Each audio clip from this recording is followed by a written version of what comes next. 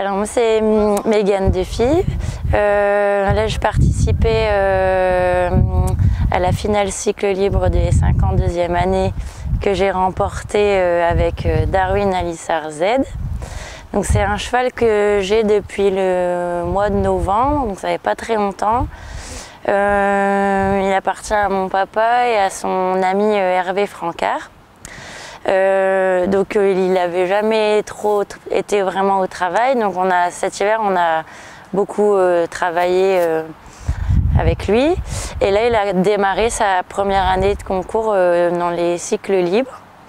il a fait une dizaine de parcours, quasiment tout le temps sans faute, une fois quatre points, mais beaucoup de sans faute. C'est un cheval avec beaucoup de force et beaucoup de moyens. Euh, je pense qu'il va l'année prochaine pouvoir faire les 6 ans euh, classiques. Euh, mais là, c'était bien de le mettre en, route et en confiance sur ce genre d'épreuve. C'est un Hongre par Dominator. très grand qui mesure 1m80, il est bien proportionné et bien fait. Et euh, sinon, dans le dans l'ensemble, c'est pas un cheval euh, compliqué.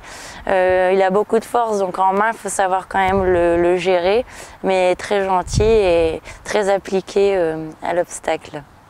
C'est la première fois que je, participe à la Grande Semaine. Il y a deux ou trois ans, j'avais fait les six ans classiques, mais je n'étais pas venue à Fontainebleau. Mais par contre, c'est la première année que, je fais les cycles libres et c'est un super circuit. En plus, nous, dans notre euh, région, dans le Nord-Pas-de-Calais, on a de la chance. On avait quasiment des concours tous les week-ends. Donc euh, ça permettait de justement bien s'y mettre. On n'a pas fait euh, tous les week-ends avec les chevaux. On a fait là, avant de participer à, Fontainebleau, on avait la finale euh, régionale justement qui était sur herbe. Donc c'était super, euh, un bon entraînement du coup pour le championnat.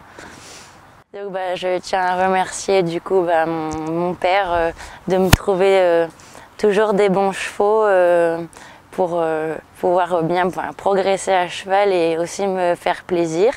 Et puis euh, toutes les personnes qui m'ont aidé ce week-end, parce que j'avais trois chevaux donc, euh, et tout le temps dans les mêmes horaires. Donc sans eux, j'aurais un peu de difficulté.